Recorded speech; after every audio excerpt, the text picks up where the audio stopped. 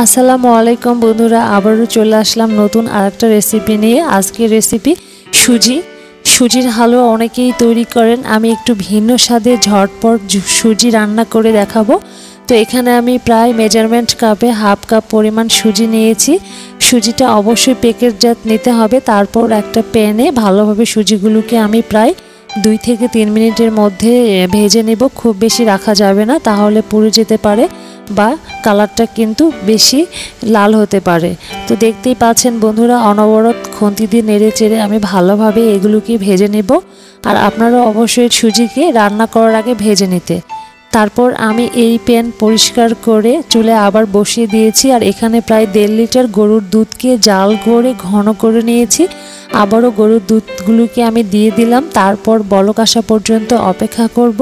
আর স্বাদটাকে আরও দ্বিগুণ করার জন্য এখানে আমি প্রায় একটা প্যাকেট গুঁড়ো দুধ ইউজ করেছি। গুঁড়ো দুধ দিলে আরও ক্রিমি ক্রিমি ভাব হয়, খেতেও ভালো লাগে।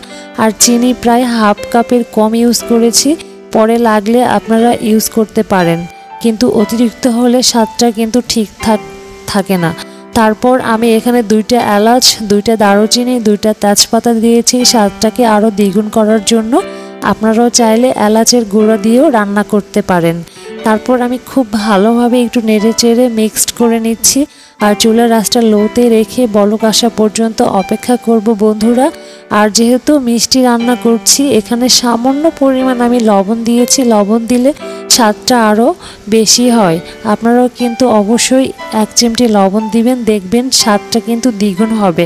তারপর আবারও খুব ভালোভাবে নেড়ে চেড়ে উল্টে পাল্টে মিক্সড করে নেব। অলরেডি খুব ভালোভাবে বরফ চলে এসেছে। এই পর্যায়ে আমি আবারও দুই চামচের মতো চিনি দিলাম, দিয়ে খুব ভালোভাবে নেড়ে চেড়ে অপেক্ষা করব। আর চুলের রাসটা কিন্তু লোতে রেখেই সুজিগুলোকে দিতে হবে। আর মনে রাখতে হবে বন্ধুরা সুজি দেওয়ার সঙ্গে সঙ্গে কিন্তু দলা পেকে যেতে পারে। এই জন্য আমি খুব ভালোভাবে নেড়ে চেড়ে নিব এবং এরপর যে আপনারা লক্ষ্য রাখবেন, খুব ভালোভাবে কিন্তু নেড়ে চেড়ে মিক্সড করে নিতে হবে। না হলে সুজিগুলো দলা পেকে যেতে পারে। দেখতেই পাচ্ছেন বন্ধুরা, খুব ভালোভাবে আমি নেড়ে চেড়ে নিচ্ছি। তো দুই মিনিটের মধ্যে আমার সুজির হালুয়াটা পারফেক্টভাবে রেডি হয়ে যাবে। আর এ পর্যায়ে আমিও কিন্তু চুলার আঁচটা লোতে রেখেই নামিয়ে নিব। আর আশা করি এই ভিডিওটা আপনাদের খুব ভালো লাগবে এবং ঝটপট দুই মিনিটে সুজির হালুয়া বানিয়ে নিতে পারবেন।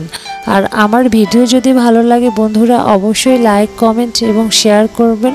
আর আমার চ্যানেলটি অবশ্যই সাবস্ক্রাইব করে আমার সাথেই থাকবেন। আর বেল বাটনটি অবশ্যই ক্লিক করবেন। এরপর যে আমি চুলা থেকে নামিয়ে একটা ডিশে সার্ভ করব, আপনারাও কিন্তু এভাবেই একটু পাতলা পাতলা থাকা অবস্থায় নামিয়ে সার্ভ করবেন, না হলে কিছুক্ষণের মধ্যেই অনেকটা শুকিয়ে জমাট বেঁধে যেতে পারে।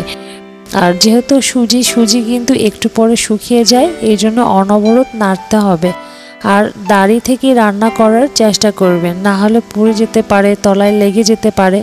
আর দেখতেই পাচ্ছেন বন্ধুরা পারফেক্টভাবে হয়ে গিয়েছে এ পর্যায়ে। স্বাদটাকে আরও বাড়ানোর জন্য এখানে আমি আগেই প্রায় এক চামচ পরিমাণ বাদাম গুঁড়ো করে এটা মিক্সড করে দিয়েছি। আর যখন আপনারা পরিবেশন করবেন, তখনও উপর থেকে বাদাম দিবেন। তো এখানে আমি প্রায় এক চামচ পরিমাণ বাদাম কুচি করে নিয়েছি। এই যে দেখুন, এটা আমি উপর দিয়ে ছিটিয়ে দিব। দেখতেও ভালো লাগবে, খেতেও ভালো লাগে। আজকে এই পর্যন্তই বন্ধুরা। সবাই ভালো থাকবেন।